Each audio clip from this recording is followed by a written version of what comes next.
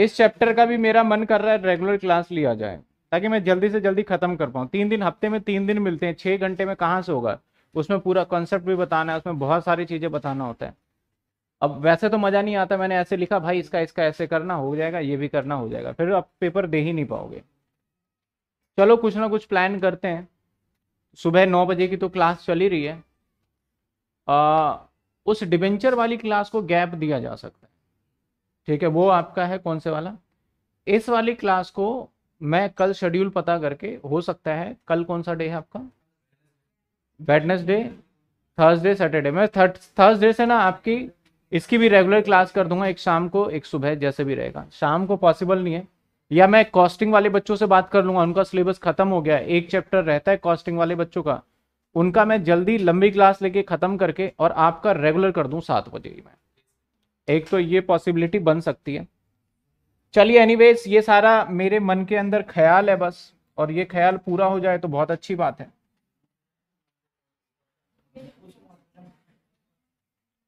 तो हमारा है परचेज कंसिडरेशन परचेज कंसिडरेशन में एक नेट एसेट्स मेथड में हमने क्या सीखा था सर? सारे एसेट्स की मार्केट वैल्यू ले लीजिए, और लेस कर दीजिए सारी की सारी लाइबिलिटी तो हमारे पास ये आ जाएगा। इसके बाद हम नेट पेमेंट मेथड की बात करें तो नेट पेमेंट मेथड के अंदर हमें क्या करना है और इसमें एसेट्स जब लेंगे तो इन एसेट्स को कंसिडर नहीं करना, ये सीखा था। नेट पेमेंट मेथड बहुत आसान है। सर, बहुत आसान कैसे कह सकते हैं? देखिए, मैं इसको इरेज कर दूँ। यहीं पे नेट पेमेंट मेथड बना दे, ताकि सही रहेगा। नेट पेमेंट मेथड समझना। मैं समझना एक छोटा सा example X Y Z limited है। और एक मान लेते हैं, शिक्षा धाम लिमिटेड है।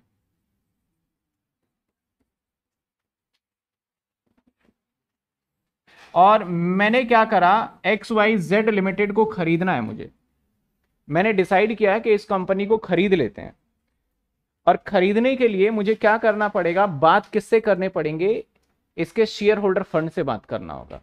यानी मैंने बोला, भाई, तेरा क्या एसेट्स है? वट एवर तू समझ, तू इधर आ जा share holder fund share holder fund के अंदर इसका रिज़र्व एंड सरप्लस हो गया इक्विटी शेयर हो गया प्रेफरेंस शेयर हो गया। मैंने बोला कि, भाई, देख, ऐसी बात है, मैं तेरी कंपनी को खरीदूँगा, क्योंकि मालिक तो यही है। मैंने कहा, मैं तेरी कंपनी को खरीदने जा रहा हूँ, और तेरी कंपनी को जब मैं खरीदने जा रहा हूँ तो तू बता, मैं जो दूँगा, अगर तुझे पसंद आता है तो ले ले अदरवाइज़ फिर मैं तेरी कंपनी को नहीं खरीदूँगा। इसने कहा, सर, मेरे एसेट्स हैं, मेरे लाइबिलिटी है, मेरे ये है, मेरे में, वो सब मुझे नहीं पता। मेरे को तेरी कंपनी पसंद आई है और मैं तेरे को ये ये चीज़ें दे रहा हूँ। मैं तेरे को दस लाख रुपए दे रहा हूँ नगद।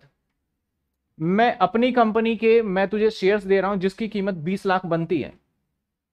अपनी कंपनी के मैं प्रेफरेंस शेयर दे रहा हूँ जिसकी कीमत तेरे बनता है दस लाख रुपए। और ये तीन पेमेंट मैं तुझे दे रहा हूँ और टोटल तू लगा ले, चालीस लाख रुपए तुझे मिल रहे हैं। अब तू जो मर्ज़ी समझ, मेरी तरफ़ से तेरी कंपनी की औकात कितनी है? चालीस लाख, जो कि मैं देने के लिए रेडी हूँ। अगर तू दे सकता है तो बता, नहीं दे सकता तो बात ही खत्म। यानी पहले वाले केस में, हमें नेट एसेट्स वाले केस में, इसके सारे एसेट्स लाइबिलिटी के बाद हमें सामने वाले कंपनी का वैल्यूएशन करना पड़ता था। सामने वाली कंपनी की एक औकात पता करनी थी कि कितने में उसे खरीदा जाएगा। लेकिन इस वाले में हम उसकी वैल्यूएशन नहीं करेंगे। एक अंदाज़ा ले लेंगे कि इस कंपनी में इतने में खरीद लेंगे। तो सेम मैंने कहा कि भाई, तेरी कंपनी को खरीदा जाएगा इतने में। मैं पूरा पेमेंट या तो मैं बोल दूँगा, भाई, तेरी कंपनी को दो करोड़ में खरीद रहा हूँ और उसके बदले ले, इतने कैश इतने इक्विटी इतने प्रेफरेंस ठीक है ना? और सिर्फ़ किससे बातचीत चलेगी? और अगर मैंने कहा, भाई, तेरी कंपनी के अंदर डिबेंचर भी है ना और उस डिबेंचर वाले को मैं अपनी कंपनी के डिबेंचर दे दूँगा। तो इसमें इसका क्या फ़ायदा? भाई लाइबिलिटी वाले को तू लाइबिलिटी दे रहा है तो जब तू मेरी कंपनी को खरीद रहा है तो उस सिचुएशन में सारी चीज़ें तो देना ही देना है, तुझे लाइबिलिटी वाले को लाइबिलिटी देना है एसेट्स अब सारा तुम्हारा ही हो जाएगा। तो मैं इसको जो जो दूँगा, कुछ भी दे दूँ इन मालिक को, वो सारा का सारा जोड़ के परचेज कंसिडरेशन कैलकुलेट होगा। चाहे मैं उसको कैश दे दूँ, चाहे मैं उसको चेक दे दूँ, चाहे मैं उसको बीआर दे दूँ, चाहे मैं उसको प्रेफरेंस शेयर दे दूँ, चाहे मैं उसको इक्विटी शेयर दे दूँ, चाहे मैं उसको अपनी कंपनी के डिबेंचर्स दे दूँ फ्री में के, ले भाई डिबेंचर तेरे को बाद में पैसे मिल जाएँगे। कुछ भी दिया जा सकता है। तो अगर कुछ भी मैं इसको देने के लिए तैयार हूँ दैट इज़ उन सभी का टोटल क्या होगा? परचेज कंसिडरेशन तो पेमेंट मेथड कितना आसान है, उसके अंदर इतना ज़्यादा झंझट नहीं है। पेमेंट मेथड में अगर देखा जाए ना तो मैं क्या करूँगा पेमेंट मेथड में? नेट पेमेंट मेथड के अंदर मैं उसे कितना इक्विटी शेयर कैपिटल दे रहा हूँ? मैं उसे कितना प्रेफरेंस शेयर कैपिटल दे रहा हूँ? मैं उसे कितना कैश दे रहा हूँ? या मैं उसे कितना डिबेंचर दे रहा हूँ? यानी एनी काइंड ऑफ़ मैं कुछ भी उसे दूँगा, इन सभी को जोड़ दिया जाएगा और जैसे ही इन सभी को जोड़ा जाएगा, उन सभी को जोड़ने के बाद हमारा ये क्या माना जाएगा सर? ये माना जाएगा हमारा परचेज कंसीडरेशन मतलब देखो तो इसका ना एक पार्ट जो हम पहले निकाल के जो उसको देते थे ना इसके अंदर कि तेरे को ये दे देंगे, ये दे देंगे, यहाँ डायरेक्टली ये हो जाता है। तो ये परचेज कंसिडरेशन माना जाता है। यहाँ पे कुछ चीज़ें सावधानी रखनी है जो बच्चा कंफ्यूज हो जाता है। अब मैंने कहा, अब मुझे जवाब दीजिएगा। चलिए आ जाते हैं, हम क्वेश्चन भी करेंगे और साथ के साथ फिर कॉन्सेप्ट भी करेंगे। मैंने क्या कहा? यही क्वेश्चन ये वाला कर लेंगे। मैंने कहा, भैया एक्स है, भैया वाई है, भैया जेड लिमिटेड कंपनी है। इस कंपनी को एक्वायर किया और इसका शेयर होल्डर है। और इसका डिबेंचर भी है। जब मैं इस कंपनी को खरीदूँगा, जब एसकेडी लिमिटेड इस कंपनी को खरीद लेगा तो क्या मैं इस कंपनी के शेयर होल्डर को पेमेंट करने के बाद इसके सारे लाइबिलिटी पे मेरा अधिकार है और इसके सारे एसेट्स पे भी मेरा अधिकार है? इसका मेरा कहने का मतलब है कि इसके जितने भी लाइबिलिटी उसकी पेमेंट करने की ज़िम्मेदारी मेरी बन जाएगी और जितने भी एसेट्स है, उसको बेचना या फिर अपने एसेट्स में मर्ज करने की ज़िम्मेदारी मेरी बन जाएगी। यही कहानी होगी। अब मैंने कहा कि भाई देख शेयर होल्डर मैं तुझे क्या दूँगा? इक्विटी शेयर कैपिटल दूँगा। मैं तुझे क्या दूँगा? प्रेफरेंस शेयर कैपिटल दूँगा। दस रुपए का ये दूँगा, बीस रुपए का ये दूँगा। तुझे कैश भी पाँच रुपए दिया जा। और उसके बाद तेरे जो डिबेंचर होल्डर है, इसको मैं क्या करूँगा? सौ रुपए इसको मैं दे रहा हूँ। तो यहाँ पे बच्चे सोच लेते हैं कि सर पीसी क्या होगा?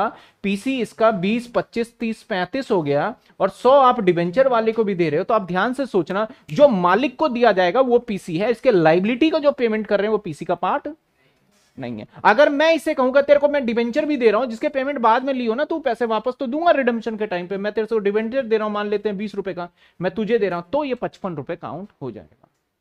अगर इसके मालिक को डिवेंचर दिया जा रहा है that is part of purchase consideration लेकिन इसके डिवेंचर होल्डर को ही डिबेंचर देके डिस्चार्ज किया जा रहा है तो वो परचेज कंसिडरेशन का पार्ट नहीं माना जाएगा। समझ रहे हो बात आप? तो ये बिल्कुल बेसिक सा पॉइंट था। तो मेरे हिसाब से आप देखोगे कि नेट पेमेंट मेथड जो है नेट पेमेंट मेथड जो है तो ऐसे सिचुएशन में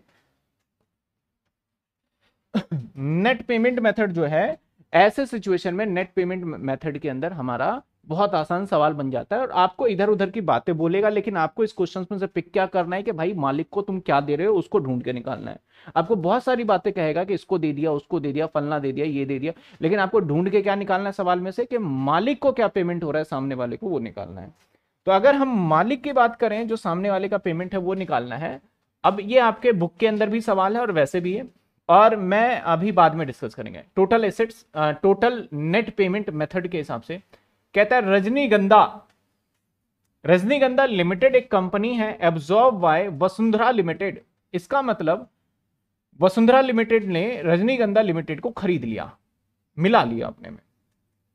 The consideration being take over liability consideration में इसने लाइबिलिटी टेक ओवर किया। तो करना ही पड़ेगा भाई लाइबिलिटी जब तुम इस कंपनी को खरीदोगे तो इसके सारे लाइबिलिटी और एसेट्स की तुम्हारी ज़िम्मेदारी बनती है। कहता है the payment cost of absorption part of purchase consideration कहता है, जो पेमेंट कॉस्ट ऑफ़ एब्जॉर्प्शन यानी जो लिक्विडेशन का एक्सपेंस होता है। मैंने बताया था लास्ट क्लास के अंदर था रिलाइजेशन एक्सपेंस तो वो बोला गया, इसको पार्ट मान लीजिए परचेज कंसिडरेशन का नॉट एक्सीडिंग बीस हज़ार बीस हज़ार। जबकि एक्चुअल कितना हुआ था साहब? सत्रह हज़ार। बीस हज़ार से ऊपर नहीं होना चाहिए एक्चुअल सत्रह हज़ार। अगर इक्कीस होता तो बीस ही लेते और बीस से कम हो गया तो हम कम लेंगे, सीधी सी बात है। ठीक है? इसके बाद आगे देखा जाए आगे कहता है the payment made to debenture एक लाख रुपए डिबेंचर पेमेंट करेंगे टेन परसेंट प्रीमियम पे नाइन परसेंट डिबेंचर इशू जो उसके डिबेंचर्स है the payment of the debentures एक लाख। एक लाख के जो उसके डिबेंचर होल्डर है, उनको हम प्रीमियम पे nine percent debenture at par दे दिया जाएगा। ठीक है? यानी आप यहाँ से यहाँ तक बात देखेंगे तो कोई भी ऐसी बात नहीं बोली गई है कि उस कंपनी के मालिक को कुछ दिया जाए। तो ये यहाँ से यहाँ तक इतने ऊपर वाली पार्ट है, वो इरेलीवेंट है मेरे लिए परचेज कंसिडरेशन निकालने। उसने बोला कि जो हम लिक्विडेशन का, जो यानी एब्जॉर्प्शन का खर्चा होगा, उसको ये करेंगे, वो करेंगे, भाई उससे क्या लेना देना? तुम बोल रहे हो डिबेंचर को इतना पेमेंट करेंगे प्रीमियम डिस्काउंट उससे क्या लेना देना? हमें तो इस क्वेश्चन में ढूंढना है कि भैया तुम मालिक को कितने रुपए दे रहा है, उसको टोटल कर लेंगे परचेज कंसिडरेशन हो जाएगा।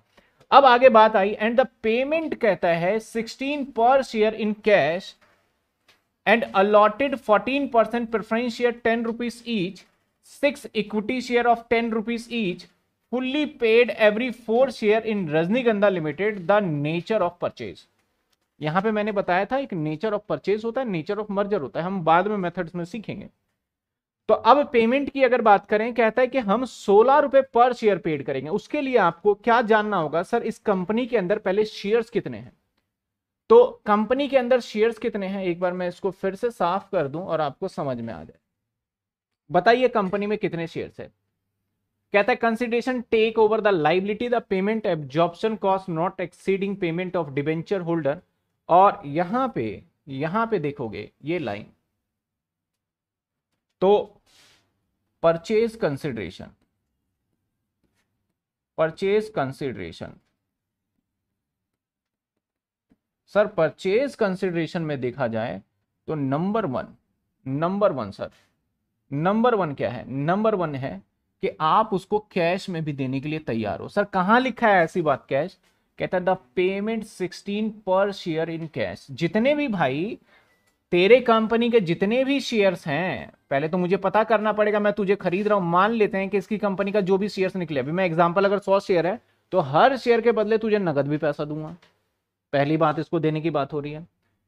And allotment fourteen percent preference share ten rupees each और हर शेयर के, देखना क्या कहता है एंड कहता है कि द पेमेंट इसके अलावा कहता है एंड द पेमेंट सोलह रुपए पर share and allotment one preference share of ten rupees each and छह equity share ten rupees each और छह इक्विटी शेयर भी दिए जाएँगे आपको।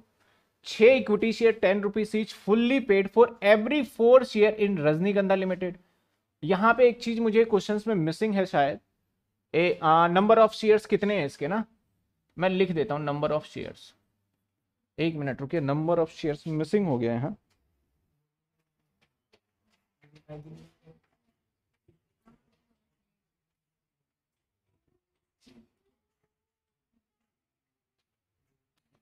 दो लाख है। नंबर ऑफ़ शेयर्स मैं बता देता हूँ।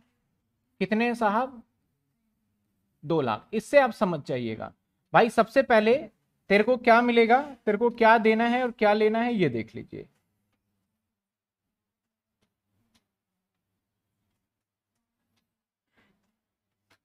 ठीक है, सर।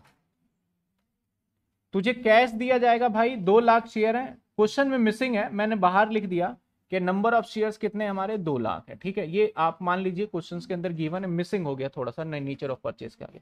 तो दो लाख शेयर है और हर शेयर के बदले मैंने वचन दिया है कि कितना दूँगा? तो इसका मतलब सर अब दो लाख का है या दो लाख रुपए का है, एक ये भी कंसिडरेशन लेना है, दो लाख नंबर है तो कितने देने पड़ेंगे? पहले एक तो ये। और प्रेफरेंस शेयर की बात करते हैं। कहता है कि and allotment one preference share ten rupees each. हम आपको एक प्रेफरेंस शेयर भी देंगे, टेन रुपीज़ ईच का। तो सर, दो लाख प्रेफरेंस शेयर मिल जाएँगे। ये प्रेफरेंस शेयर कैपिटल कितने percent fourteen fourteen percent preference share मिल जाएगा दो लाख और एक कितने का मिलेगा? दस लाख का। दैट इज़ आपका। बीस लाख रुपए का एक तो ये दूँगा। ध्यान देना। यानी ये बातचीत किससे चल रही इक्विटी शेयर से। बोल रहा है कि भाई इक्विटी शेयर वाले तो दो लाख है, क्योंकि यहाँ का शेयर होल्डर यही है हमारा। बोला, तेरे को एक काम करते हैं, सोलह रुपए पर शेयर दे देते हैं। और एक प्रेफरेंस शेयर दे देते हैं तुझे। बोला, और? बोला, और ऐसा करते हैं, तेरे इक्विटी शेयर को हम ऐसा करते हैं, तेरे पास हर चार शेयर के बदले हम अपनी कंपनी के छह शेयर दे देते हैं। तो भैया, हर चार शेयर के बदले, यानी इक्विटी शेयर की बात आई तो इसके पास इक्विटी शेयर कितने हैं? दो लाख। अगर मैं इसको डिवाइड चार से कर दूँ तो कहता है कि हर चार शेयर के बदले आपको कितने दे दूँगा मैं? छ जैसे मैं सपोज़ करो, आपके पास दस रुपए है या दस यूनिट शेयर्स है, मैंने कहा हर दो के बदले एक नया शेयर दे दूँगा तो आप कितने शेयर मिलेंगे? तो हर दो के बदले कितना दूँगा? एक। तो आप डिवाइड दो से कर दोगे और इंटू एक से कर दोगे तो आपको पता चल गया कि आपको कितने मिलेंगे? पाँच। और वैसे भी मैंने बोला, हर दो के बदले मैं एक दूँगा तो आप जनरल कैलकुलेशन कर लो, क्या बनता है हमारा? पाँच शेयर ही बनता है। इसका मतलब जितने के बदले दिया जाएगा, वो डिवाइड हो जाएगा। और इंटू में जितना मिलेगा ये। आप फॉर्मूला ये जनरल चीज़ें हैं हमारी, ठीक है ना? अब एक शेयर कितने का देने वाले हम आपको? दस रुपए का। दैट इज़ अगर हम कैलकुलेशन करें, कितने आ गए? तीस लाख हो गया। अगर टोटलिंग करें हम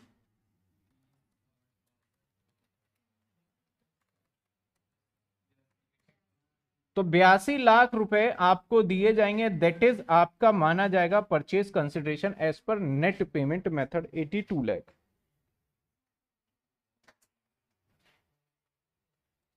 ये सही बताया तीस लाख आपने। ये सही बताया आपने।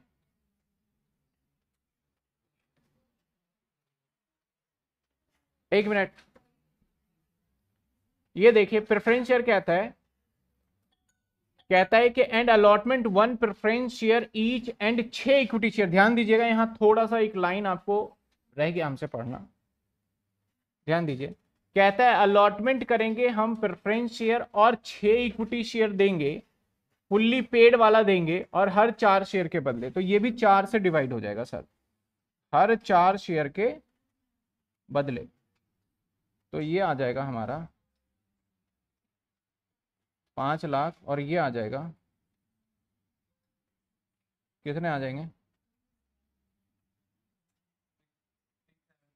एक एक मिनट। सिक्सटी? सड़सठ लाख। या दोबारा देख लीजिए। क्या कहता है? लाइन आप पढ़ेंगे तो रनिंग में पढ़ना होगा। कि भैया तुझे एक तो हम सोलह रुपए पर शेयर दे रहे हैं एंड अलॉटमेंट दे देंगे तेरे को प्रेफरेंस शेयर एंड छह इक्विटी शेयर फुल्ली पेड वाले फॉर एवरी फोर शेयर यानी हर चार शेयर के बदले तेरे को एक प्रेफरेंस शेयर मिल जाएगा और हर चार शेयर के बदले तेरे को छह इक्विटी शेयर दे देंगे और दस रुपए एक वाला रहेगा तो दस से मल्टीप्लाई करके ये हमारा आ गया। सामने